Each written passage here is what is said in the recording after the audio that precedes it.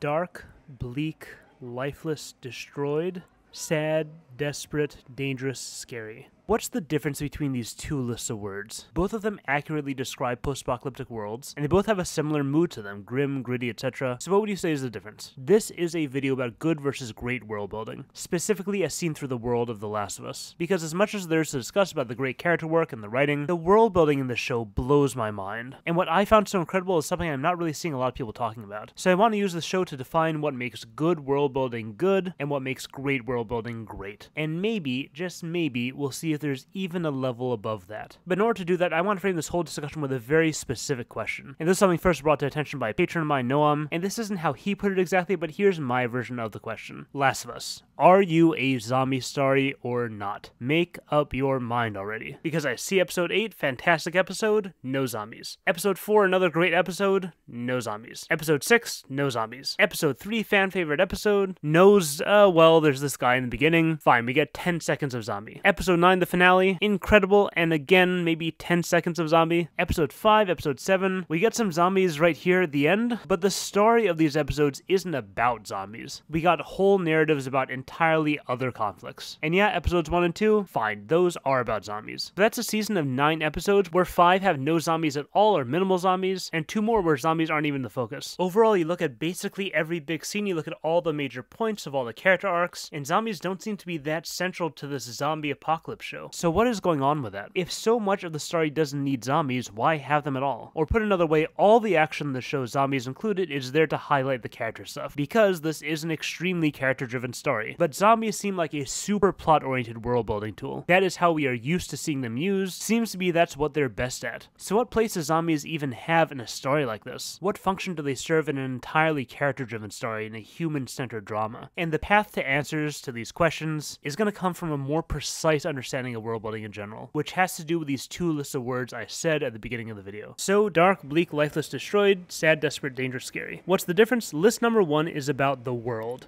List number two is about people. That is the big principle The Last of Us pushed me to define. World building is people. Oh my god, world building is people. World building is people. I can come up with my fantasy world map and my magic system and my history and cultures, etc. But if those world building elements I'm brewing up are not penetrating to the other story elements, to the characters, the plot, the scenes, that is a sign you are just getting started. Your world has a long way to go before it is fully developed. World building isn't just selecting random features of a random setting, it's shaping the environment of your characters. It's answering answers to questions like how does the world treat its inhabitants? How does the world feel to its inhabitants? What are the obstacles of this world? Where's the drama in this world? What are the needs? What are the emotions? What type of pain is prominent in this world? What type of life is common in this world? What type of heroes does this world produce? What type of villains? A word like dark does shape an environment in a way that could impact the characters, it's fine. But a word like sad, true it's broad, but it relates directly to the character experience. Bleak is a general mood of a setting. Dangerous is a specific pattern of interaction the setting has with the characters. Scary is a reaction, probably to what's dangerous, and similarly, desperate is also a reaction. Give me a world of darkness and destruction, and I have a world. Give me a world of death and cruelty, and I'm already telling the story of that world. So, world building is people, that's the basic principle, but basic principles don't cut it. Not here at Schnee headquarters. No, we got standards to pull, we got quotas to meet. Level 3, don't give me a world of death, give me a world of deterioration. Don't give me a world of cruelty, give me a world of necessity. Don't give me a scary world, give me a wounded world. Level 1 was ideas that characterize a world. Level 2 was ideas that characterize a story within a world. Level 3 is ideas that don't characterize stories, they are stories. Death is a scene, deterioration is a whole progression. Deterioration, I immediately see a beginning, middle, and end. It's not this element that appears in my story, it's a structure I can apply to every story element. We can show a society deteriorating and show the turmoil and violence of that process. We can show a rich life being lived and then deteriorating, and how that changes lives and impacts decisions. We can show the purity and liveliness and innocence of youth and make that deteriorate through participating in terrible experiences and witnessing terrible tragedies. We can show even the strongest character in the show deteriorating, and make that a vital challenge of his arc and the arcs adjacent to his. And The Last of Us, if it can deteriorate, it will deteriorate. And we feel at every step of the story and every aspect of the story. And it's the same with Wounded. Every character has open wounds from their past that still hurt them now. It's something that defines their starting point, it gets poked throughout their entire arc, and the pain of it eventually defines their endpoint as well. Kathleen, the leader of Kansas City, lost lost her brother, and Henry's very existence is poking at that wound like crazy, making her go all out, making her go mad. She needs to eradicate the source of her wound from this world, and that pain makes her act in these extreme, brash ways that ultimately lead to her downfall. Henry was an informant, and that guilt still haunts him. He lives with the consequences, and as soon as his last shot at redemption dies, all he has is this wound telling him he's a worthless, wretched informant, and he acts accordingly. Bill is interesting. He's been wounded by his loveless life before the apocalypse, and that pain creates the lonely, porcupine like existence he's in at the start of his arc. Then, once he finds love, fear of that pain makes him so determined to keep his love, and that same pain is what makes him eventually decide on how to end this journey of his love. Tommy has his past. The pain from back then, from what he did, is what makes him leave Joel. It's also what makes him determined not to leave his family, and it's also what Joel uses to convince him to leave his family before he doesn't have to. Joel obviously has Sarah, and that wound determines literally every step of his arc with Ellie. Both his initial instinct to distance from her, and of course his eventual closeness to her. And then Ellie has all these people who left her, and that determines every step of her arc with Joel as well. Both her eagerness to form a bond and her desperation to keep it and not let it die. Okay, so there's one more term I mentioned here in this level necessity. And this one is a tough one. And we can't really talk about it, unfortunately. Not at our current world building power level. Nope,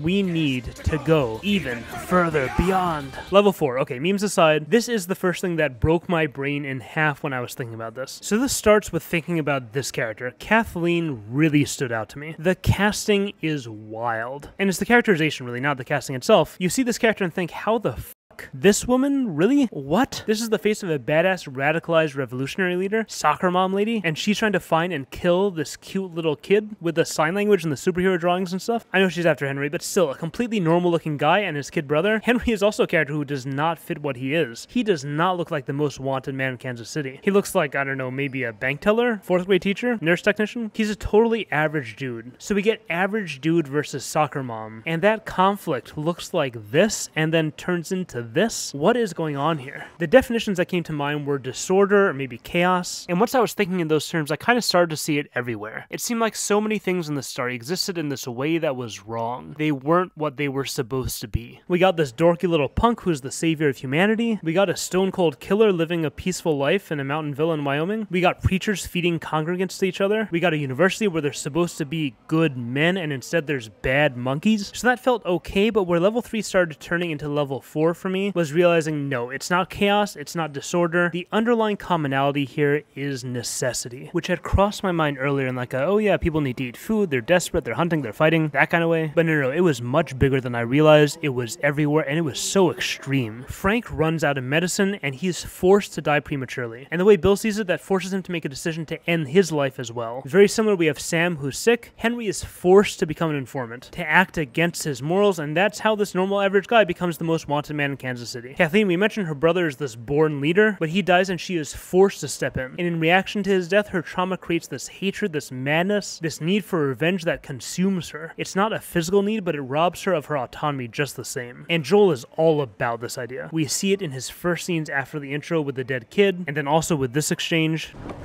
You got anything else? Tomorrow we got street sweeping or sewer maintenance. Which pays more? That'd be the one with the shit. And then he's forced to do whatever he can to get this battery. Tess dies and his autonomy is taken away again. She made me swear to take the kid. It was her dying wish. What the hell was I supposed to do? And then, narratively, as soon as this journey with Ellie becomes something he wants to do, his autonomy is attacked again. And it's terrible, but he realizes that he's getting too physically weak to continue responsibly with this life that he's come to find so meaningful. So, what differentiates necessity in terms of how it characterizes the world of The Last of Us is that necessity isn't just an aspect of this world, it defines this world. Everything we talked about up until now was a foundation for or result of necessity. Deterioration per se isn't what shapes these characters' stories, it's what the deterioration forces them to do. The characters' wounds rob them of their ability to live how they want. All the death and the cruelty and the desperation and the darkness, each one of these aspects is stamped with that necessity label. That is its identity. Necessity is pervading everything in the story. Whether it's the soldier in episode 1, whether it's Joel post time skip, or Joel at the end of episode 1, or Tess in episode 2, or Bill and Frank's deaths in episode 3, or the horrifying Ellie scene in episode 4, or the even more horrifying Ellie scene in episode 8, the centerpiece of what's happening with every character, with every arc, practically every beat is this tension between what they want to do and how they're forced to act out of necessity. And I want to draw your attention to specific, unbelievable nuance in this at the end of episode 5. It's this terrible scene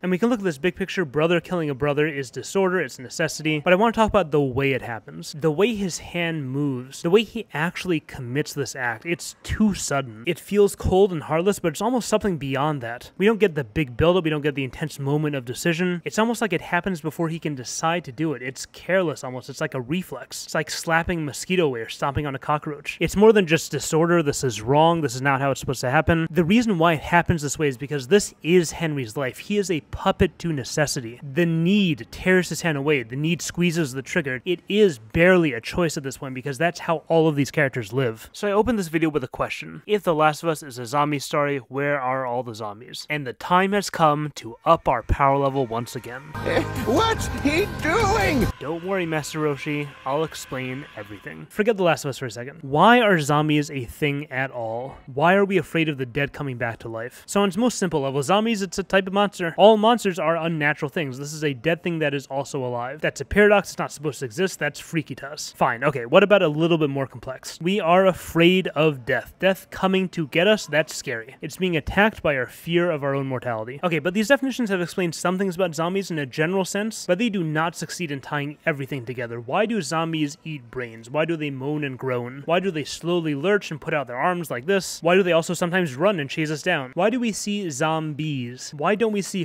hordes of swamp monsters? Why don't we see endless ranks of vampires attacking towns? Why don't we get ghost apocalypse stories? No, we get zombies in endless hordes overrunning the planet and causing the apocalypse. That is the archetype that fits this other archetype. Why? Why do they go together? And you can probably feel with these questions, it feels like there's a lot of aspects of zombies that are getting at some greater concept. And just monsters who remind us of death, that doesn't quite cut it. So let's take a step all the way back. If I am writing a horror story, I can make Cthulhu, I can make a kaiju. We can do a scary place, we can do a scary creature, we can do an evil person, we can do an evil inanimate thing, we can do birds, we can do empty space. Lots and lots of different ways of manifesting horror, focusing horror. But gothic horror, in terms of its three major tropes, is distinct from everything I just listed. Those three major archetypes of gothic horror, if you're not familiar, are vampires, werewolves, and zombies. And what makes them distinct is because these are monsters that humans transform into. Every vampire used to be a regular human, every werewolf too, every zombie. And then they were bit and they didn't just change, they transformed. They become something different in their entirety, a new type of being that functions completely differently than a human. Whether that's about how they survive or about how they become a wild animal or about a complete loss of sentience, they don't become more evil, they become something that is evil. Their existence becomes an existence of evil, necessarily harmful. So what is that? There is a classic answer to this that I first heard from Mark Rosewater, head designer of Magic the Gathering, but he didn't make it up either. This is a widespread theory. that Gothic horror tropes are cautionary horror. They're designed to highlight human vices, the terrifying parts of our inner selves, and show us what happens if we let that take us over. Our lust can become violent and predatory. Our anger can turn us into feral beasts. These inner demons can turn us into outer demons. Because this thing that we dearly hope is this tiny little part of us, the back of our minds, that can consume everything that we are. So I left one out. What is the terrifying inner part of our existences that's embodied in the zombie archetype? So as the theory goes, it's mindlessness. We have all had that experience of living on autopilot, of being profoundly checked out of our own lives. I always think of this quotation from Good Will Hunting.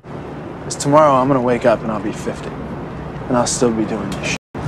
We do not want to become these automaton just sleepwalking through our own existence. That is death to us. Vampires and werewolves, lust and rage, those are these simple, concrete feelings, impulses. Zombies get to something much deeper. It's an existential fear. It is a threat to humanity as a whole, in a way that lust and rage are not. Mindless existence is a scarier fate than death, than actual non existence. We would rather wink out of existence entirely than let something else take control, than let empty animation consume our lives, consume our world. David is an unbelievable character. Again, we get that wrongness, that complete and total disorder. David is a man of God. His position should demand the highest ideals of morality, and he is the worst of the worst that we've encountered by far. And why? Because the winter was hard, because they had no food, because they had to survive. Necessity. Even his advances on Ellie, he couches in the language of necessity. Lord knows I could use the help. We do whatever we needed for our people.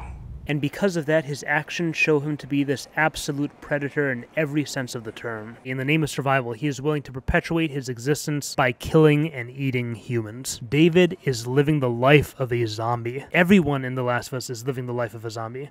Kathleen, Henry, Bill, Tess, Tommy, Joel, Ellie, they are forced into a necessarily predatory existence. All meaning in their lives is obliterated. All of who they are is consumed by the need to survive. Is this really a human life? Is it life at all, or is this death? How is it any different from this? Maybe less ugly, but it is the same existence. It's one thing to make a zombie apocalypse world that has zombies walking around, but taking the core of what the zombie archetype was created to encapsulate and letting that bleed into every narrative element in the entire story, that is some truly transcendent world building. This story shows us zombies and it shows us humans, and within the series of humans that it shows us, that sequencing, it shows us someone living by empty necessity in an everyday way. It shows us necessity robbing our autonomy within parts of our lives, and then within more of our lives, and we begin to see people who are consumed. We see the world drain of meaning. Everyone is forced to live this life that's wrong, that is unnatural to them, and we get to see the horrifying transformative results of being forced into empty lives of pure survival. This is a zombie apocalypse that turns everyone into zombies. Mine the shells of humanity that will do anything to propagate the collective existence. You can choose an empty human existence devoid of all meaning, or you can choose an empty inhuman existence devoid of all meaning. That dilemma is the antagonist. That is what threatens the welfare of our main characters, and that is, in the end, what Joel triumphs over. In the end, he faces the ultimate version of this test. He can choose survival for the entire world and render his own life meaningless and empty, or he can choose meaning for himself and doom the survival of the entire world. And his choice is consistent with the journey he's taken. Joel refuses to become a zombie. He triumphs over the fear represented by zombies, and he finds, protects, and keeps his life of meaning. Right? That is what happens, isn't it? This final conflict is about whether the protagonist has learned the cautionary tale the zombie archetype tells, whether he can be the one person in the story who escapes this world's emptiness, who escapes zombiehood by finding and securing a meaningful life. And because it's a zombie story, we have what may not seem like a triumph, what may not be a triumph in any other story. But in this story, finding meaning in life is winning, so that has to be the resolution right? It has to be. That's what this whole journey was for. Joel learns what life is from Ellie, and he did what he had to. He avoided that life of necessity, the life of survival, the life that forced humans to live a predatory existence, necessarily violent. And now he and Ellie can live a meaningful life together. The void that we sometimes see in characters' faces in the show, that hollowness that's haunted Joel since he lost Sarah, he escaped that. He'll never see that again, right? Because if he did, then why is it right here? Why am I seeing that emptiness in Ellie's eyes? I had watched through a playthrough of this game when it came out, so I remember the gist of the ending, but I did not remember this final twist that turned everything on its head. Joel's search for meaning in life was really just another form of that life of survival. This life with Ellie, that is survival for Joel. And it's finding meaning in life that forces him to become a monster. It forces him to do what he has to do. And that new wound he creates by doing this, it leaves the one thing in this world that was bright and full of life staring at him with empty, hollow eyes. So, Basic world building, good world building is selecting interesting story elements. Great world building is people. It's defining the unique way your story world operates in terms of how it impacts the characters. Transcendent world building is the force. It's the hobbits in the One Ring. This level is when the story's defining world building element is so well developed, so nuanced, so perfectly tailored to the story that it becomes more than it is. The force isn't just telekinesis, it's the idea that cosmic events are shaped by the moral choices within the hearts of individuals. That is light dark side, the connectivity of all life versus the darkness of isolation. That is the entire story of Star Wars. Even the arcs, the characters that seemingly have nothing to do with the Force, even their story is the story of the Force. Same with Hobbits, the idea of human decency and goodness doing more for the world than overt strength. Every arc in Lord of the Rings is about the idea of hobbits. That is Gimli Legolas, it's Boromir Faramir, it's Aragorn charging into battle not to win, not for the glory, but why? For Frodo. This is also One Piece's expansive story defining idea of pirates. This is the Matrix. This is the idea of vampires, then let me in, and it's zombies in The Last of Us. So find the heart of your world building ideas and develop them until they expand into even everything they're not. That is the idea here. Not every story needs to be on this level, but that is what these stories do, and that is the pinnacle of world building in my eyes. If anyone watching this is a writer and is looking for a community to meet other writers and or creative people, to share what you're working on, to discuss fiction you love, to analyze it, to start writing groups, etc., I just started a Discord for my Patreon, and it's been amazing so far. I personally have been super active on it. We got a lot of people there having great discussions about everything from writing tips to arcane to projects they're working on to role playing games. So check that out if you're interested. We would love to have you. Big thanks to all the patrons, especially my latest high tier subscriptions. Wesley, welcome back. Also, Bags, Kagan, and Zyle. Thanks everyone for the support. It means so much. Subscribe, and thanks for watching.